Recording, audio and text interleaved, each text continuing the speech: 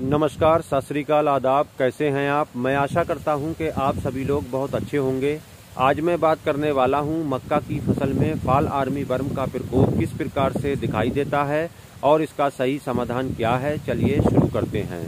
फाल army worm को फा के नाम से जाना जाता है। ये एक विनाशकारी कीट है।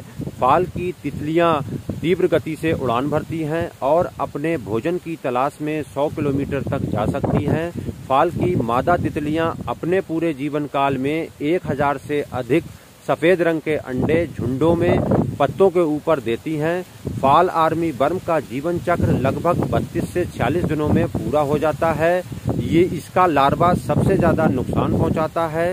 इसके बचाव के लिए संजंटा कंपनी के पास एक बेहतरीन प्रोडक्ट है, एम्पलीगो। 100 एम प्रति एकड़ की दर से और पानी की मात्रा 200 लीटर प्रति एकड़ की दर से छिड़काव